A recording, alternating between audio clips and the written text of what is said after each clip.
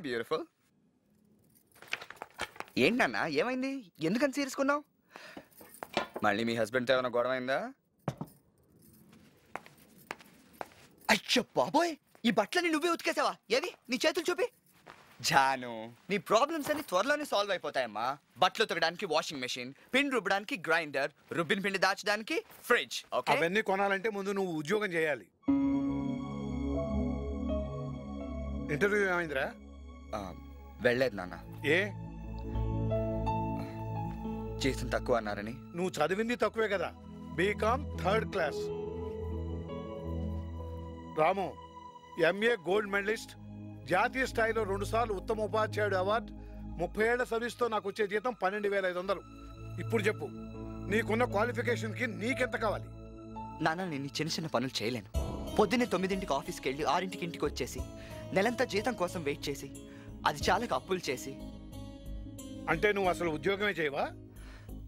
మీరు ఉద్యోగం చేయమంటున్నారు నేను వ్యాపారం చేస్తానంటున్నాను. మీరు జీతం గురించి ఆలోచిస్తున్నారు నేను లాభం గురించి ఆలోచిస్తున్నాను ఇలా ఆలోచించినంత కాలం నువ్వేం సాధించలేవు. మీరేం సాధించారు నాన్న ఇన్నాళ్ళు ఉద్యోగం చేసి మీరేం సంపాదించారు నాన్న ఉండటానికి సొంత ఇల్లు ఉందా? బ్యాంక్లో బ్యాలెన్స్ ఉందా? ఊళ్ళో గౌరవం ఉంది. ఈ రోజుకి నేను బయటకు వెడితే మాస్టర్ వస్తున్నారని లేచి నిలబడి నమస్కారం చేస్తారు. ఇప్పుడు నీకు ఉద్యోగం ఇవ్వడానికి వాళ్ళు ఒప్పుకుంది కూడా ఈ స్కూల్ మాస్టర్ మీద ఉన్న గౌరవంతోనే. రాము కళల భవన్ ఆయన కళ్ళు మూసు కూర్చుంటే బయట ప్రపంచం ఏంటో ఎప్పటికీ తెలియదు. ఇన్నాళ్ళు ఫ్రెండ్లా చెప్పాను. ఇప్పుడు తండ్రిలా చెప్తున్నాను. రేపు నువ్వు ఆ పేపర్ మిల్కి వెళ్ళాలి ఉద్యోగంలో జాయిన్ అవ్వాలి. దట్స్ ఫైనల్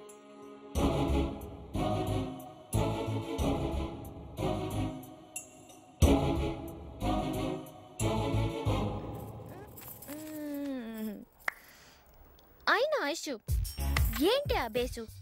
కొంచెం కండు ఉండాలి ట్రై చేయి వస్తుంది. ప్రీతి నీకు విషయం చెప్పనా? నీ షేప్ కన్నా ఈ బాటిల్ షేప్ బాగుంది.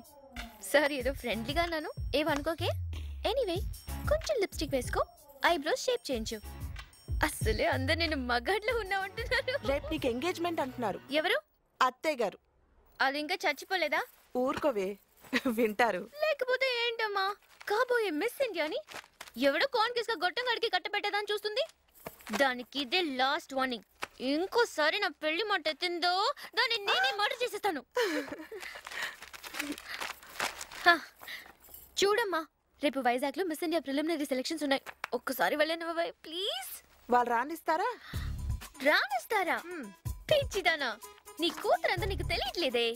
రేపు నేను ర్యాంప్ మీద నడుస్తుంటే చూడ్డానికి వేల మంది వస్తారు.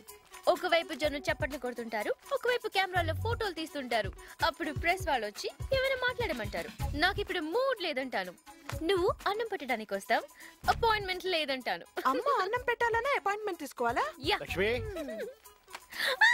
నాన్న నాన్న నాన్న ఏం నాన్న? నాన్న ఏమైంది? ప్లీజ్ నాన్న నీ అమ్మకి చెప్పు నాన్న నాకు అలాగే. ఇప్పుడే పెళ్ళొద్దు అలాగే. నాకు బోల్డ్ అంత ఫ్యూచర్ ఉంది అలాగే రా. నాన్న ప్లీజ్ నేను చెప్తాగా? నేను చెప్తాను జ్యోతి. తల్లి.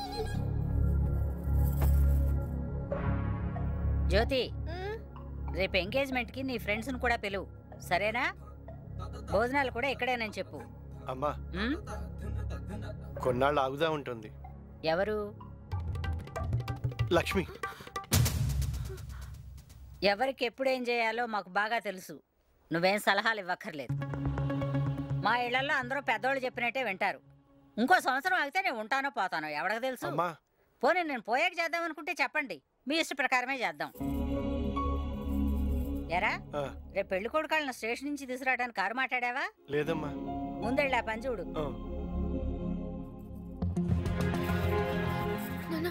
ఏంటి నాన్న ఇది నా లైఫ్ నాన్న. నన్ను ఒక్క మాట కూడా అడగకుండా అన్నీ చేసేస్తున్నారు. సరేరా. నీకు నాన్నమ్మ గురించి తెలుసుగా? లక్ష్మి నేను వెళ్ళి ఆ కారు విషయం మాట్లాడొస్తా. నాన్న